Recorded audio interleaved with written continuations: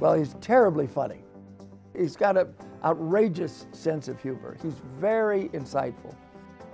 With over $2 billion in real estate transactions under his belt, Denver native Don Kortz has contributed to the expansion, contraction, and relocation of thousands throughout the region.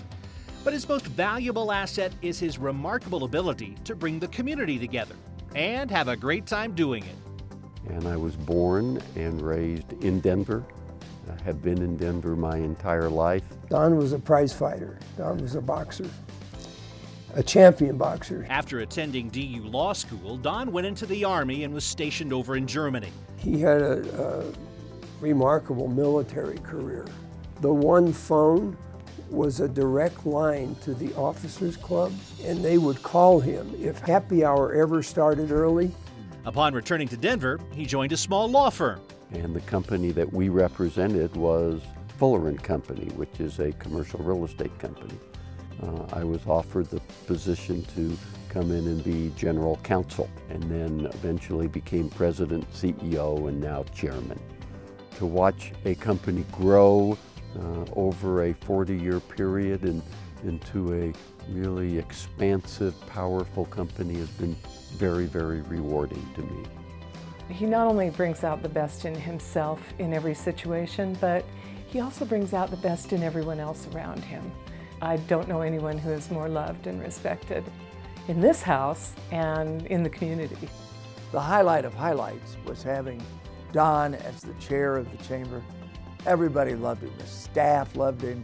Everything he does, he does with enthusiasm and grace. As he was sitting in that really august position at the Denver Chamber on the board and as chairman of it, um, I also could see him sneak off with the staff on some of the trips and just go party with them. I mean, Don has a great love of people he loves to be around them. He loves to play with them. He has a very deep attachment to Rose. I took a leave of absence uh, from Fuller uh, to start the Rose Community Foundation. Don had a vision and his vision was that we needed to take calculated risks, that we couldn't just be comfortable with the status quo. When Brian Griese first moved to Denver, he brought with him an idea of creating what is today known as Judi's House. He went to Don Kortz because Don has the ability to bring together the right people.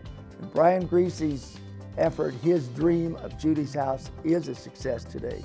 Don also spearheaded the search for a new president of Children's Hospital. The selection of that leadership was one of the most critical moves. There's um, one drawing in his office from a little girl at Children's Hospital, and I think those are the kind of things that really show what he does and that those kind of things that come from the heart are more important. We were very honored to have Don Kortz as the Humanitarian of the Year award uh, at the Mizel Museum, and he certainly was deserving for the community activities and what he does to make this a better place to live. He is one of the finest family men that I've ever met. There's never been a moment where he hasn't been there for me. He's a businessman, but for me it seems like his number one job has always been a dad. So he doesn't have to have stardom to be famous. He just innately lives his life and he becomes our star. You are a great contribution to our city, our state, and our country. God bless you.